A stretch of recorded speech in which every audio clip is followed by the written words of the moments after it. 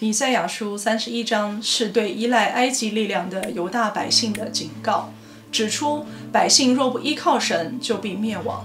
三十一章的结构与前面两章相似，也是整卷以赛亚书的特征。先是责备，后是安慰劝勉。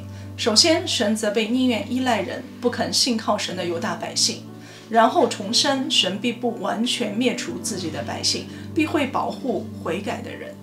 三十一章开始，这里接续三十章，指责犹大与埃及结盟的行为，说道：“祸哉！那些向埃及求帮助的，是因仗赖马匹，倚靠甚多的车辆，并倚靠强壮的马兵，却不仰望以色列的圣者，也不求问耶和华。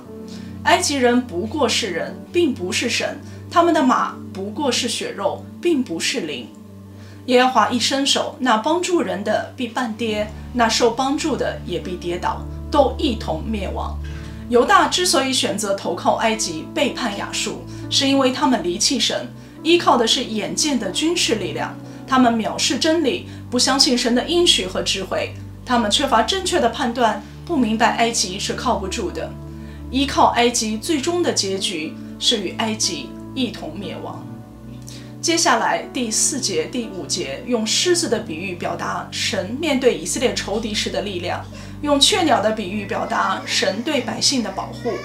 第六节开始，作者呼吁深深背逆耶和华的百姓离弃一切的偶像和罪恶，回转归向耶和华，神必施行审判，保护他的子民。神对犹大的责备，对于今天的我们来说也是很重要的提醒。很多时候，当我们的生命中遇到一些难处，我们的第一反应可能是想要靠自己的方法去解决它。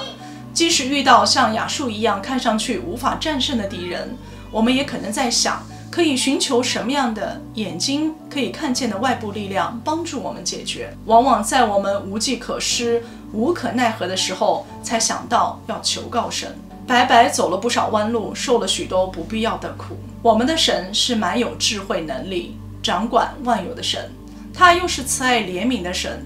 我们没有什么问题是他不能够解决的，他愿意帮助我们，只要我们愿意来到他的面前寻求他。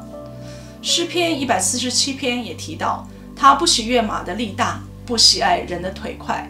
耶和华喜爱敬畏他和盼望他慈爱的人。